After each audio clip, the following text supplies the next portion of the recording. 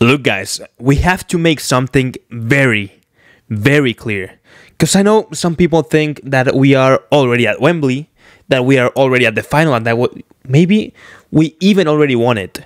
And that's not even a little bit good. Mm-mm.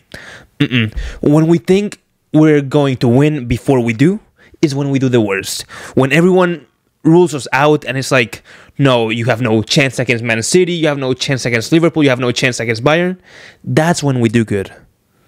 So we have to stay calm, wait for that game. Of course, we know we have to win, that's the objective with Real Madrid for a reason, but let's be patient, let's just wait, and whoever deserves to win will win. Mm-hmm. Paciencia.